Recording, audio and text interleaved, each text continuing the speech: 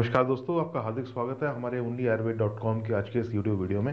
और दोस्तों, आज हम आपके लिए एक नया टॉपिक लेकर के आए हैं, जो कि हमारी हेल्थ से रिलेटेड है। और इसमें हम डिस्कस करेंगे कि आयुर्वेद में हमें क्या क्या समाधान बताए गए हैं क्या क्या नुस्खे बताए गए हैं। और हम इजीली घर पर बैठे इनका समाधान कैसे कर सकते हैं।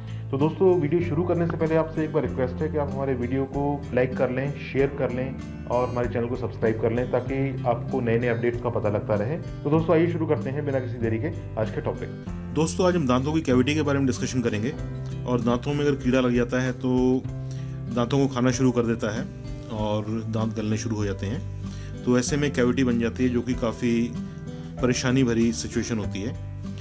तो अक्सर लोग समझते हैं कि अगर कैविटी बन गई है तो दांत सही नहीं हो सकता है, लेकिन ये पूरी तरह से सही नहीं है। अगर कीड़ा लग भी गया है कैविटी बन गई है तो भी दांत सही होने के चांस होते हैं। इसमें ज़रूरी है कि आप इसका प्रॉपर ट्रीटमेंट करें। तो अगर कीड़ा लग जाता है कैविटी बन जाती है तो अगर आप इसका प्रॉपर ट्रीटमेंट करवाते हैं तो ये सही हो सकता है, लेकिन ये थोड़ा सा लेंथी प्रोसेस होता है। तो आज दोस्तों हम देख लेते हैं कि आप घर बैठे क्या ट्रीटमेंट कर सकते हैं और आयुर्वेद ने इसके लिए हमें क्या ट्रीटमेंट बताया है? तो कैविटी वाले दांतों के लिए आज हम एक मंजन बनाना सीखेंगे, जिससे कि आप दांतों को सही कर सकेंगे। इसमें जो सामग्री है वो इस तरह से है। बबूल की लकड़ी का कोयला 20 ग्राम, कूट कर कपड़े से छान कर रख लें।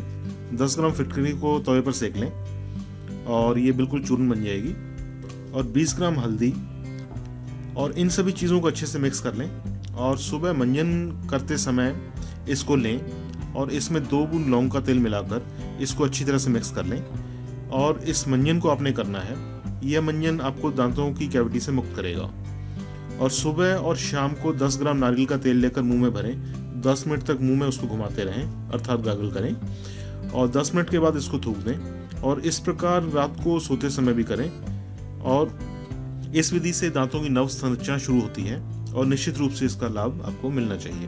और दोस्तों, आजकल हम जो भोजन करते हैं, वो अत्यधिक केमिकल से छिड़काव युक्त होता है। और इससे बचने के लिए भोजन को बनाने से पहले हर चीज़ को रात्रि को भिगोया जा सकता है। उसको पानी में भिगोकर एक चम्मच सिरका या नींबू का रस मिलाकर रखें और फल और सब्जियों में मिले जो भी एसिड्स वगैरह हैं, वो निकल जाएँगे, जिससे भोजन में मिलने वाला मिनरल और पोषण अच्छी तरह से मिल सकेगा।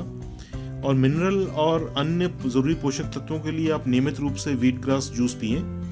और अगर किसी को स्टोन की समस्या नहीं है तो वो इस जूस में गेहूँ के दाने के बराबर चूना जो पान में लगाकर खाते हैं, मिलाकर पिए। इससे कैल्शियम की कमी पूर्ण होकर आपके दांतों को नई संरचना बनाने में मदद मिलेगी और आपके दांत निश्चित रूप से ठीक हो सकेंगे। तो दोस्तों, आप ये ज़रूर करके देखें, आपको अगर दांतों की प्रॉब्लम है, जो कि आजकल काफ़ी कॉमन होती है और आपको इसका ज़रूर फ़ायदा मिलना चाहिए। तो आप ये करें और आपको जो फीडबैक कमेंट्स आती है, वो हमारे साथ ज़रूर शेयर करें।